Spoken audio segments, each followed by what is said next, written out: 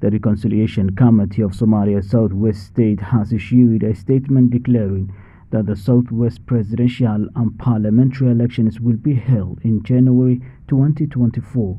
Furthermore, the press stated that the local elders will select members of the parliament between November and December 2023. President Hassan Sheikh closed the second phase of the conference after he reached the region two days ago. It was the second trip for Hassan Sheikh to the region during the reconciliation process. The president sees any discord within the Southwest states leaders and the aspirant give Al-Shabaab the energy to drive, asking all sides to unite in the cause of eliminating the group and settling down the differences through peaceful dialogue. The reconciliation spearheaded by Adan Madobe, the Speaker of the House of People, began in November 2022 and later he appointed seven members to the Reconciliation Committee to find solutions to burning issues including political tension and social mistrust and ink an agreement on the election date. A political dispute arose after the members of parliament of the southwest state combined the parliamentary and presidential elections which extended one year to the legal term of President Abdul Aziz,